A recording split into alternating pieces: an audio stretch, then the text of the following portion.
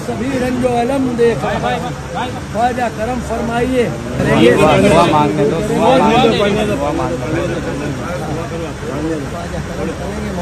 यहाँ दुआ हम ही करता है। ख्वाजा का संगल, ख्वाजा का मक्कड़ है इधर।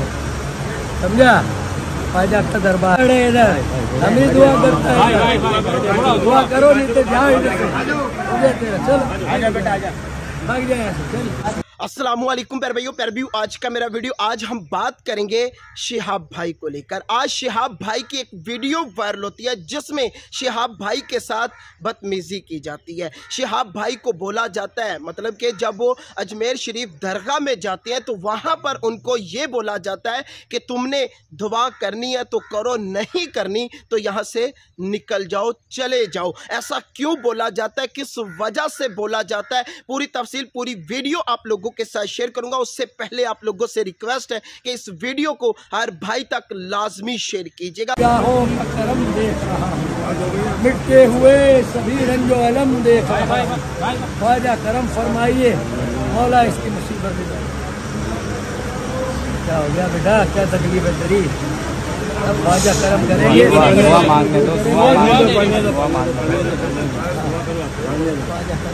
मौला सब मुश्किल आसान करेंगे। यहाँ दुआ हम ही करता है। ख्वाजा का संगल ख्वाजा का मक्कड़ है इधर। समझा? ख्वाजा का दरबार है इधर। हम ही दुआ करता है। दुआ करो नहीं तो जाओ इधर से। चल।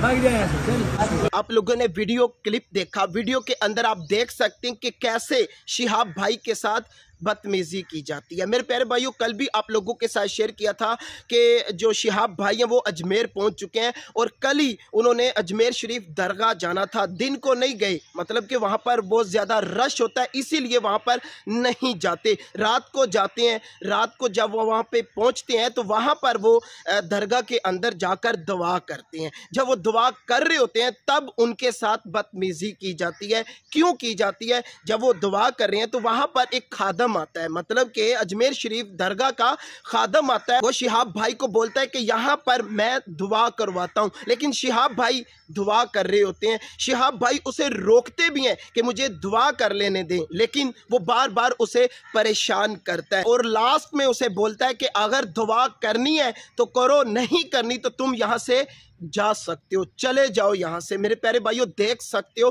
कि मुसलमान ही मुसलमान का दुश्मन बन चुका है। बहुत सारे लोग इस शिहाब भाई के ए, मतलब कि इसकी सपोर्ट करते हैं। क्यों करते हैं? क्योंकि ये पैदल हज के लिए निकलता है। 2023 की हज के लिए पैदल निकलता है और आज दो माह से ऊपर हो चुके हैं। अपने हज के सफ़र को जारी रखे हुए हैं। और आज अजमेर पहुँचते हैं दरगाह पहुँचते हैं। वहाँ पर इसके साथ बदतमीजी की जाती है। कौन करते हैं? खुद मुसलमान करते हैं, खुद मुसलमान अपने मुसलमानों के दुश्मन बन चुके हैं। बहुत सारे मुसलमान भाई इसकी सपोर्ट करते हैं। बहुत सारी वीडियो आपने देखी होगी जिसमें फूल बरसाए जाते हैं, इसको मिलना चाहते हैं, इसका दीदार करना चाहते हैं। ये नहीं कि मुसलमान भाई, हिंदू बहन भाई भी इसको मिलना चाहते हैं, इसका दीदार करना चाहते हैं। लेकिन कुछ ऐसे मुसलमान भी हैं, ऐसे मुसलमान भी हैं जो इसे रोकना चाहते हैं, जो इसको पैदल हज पर जाने से रोकना चाहते हैं, जो इसके खिलाफ फेक खबरें चला रहे हैं, जो आप देख सकते हैं, अजमेर शरीफ पहुँचते हैं, दरगाह पर पहुँचते हैं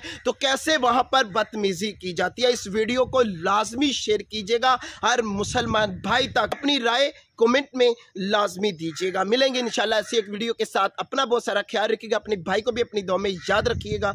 अल्लाह हाफिज़।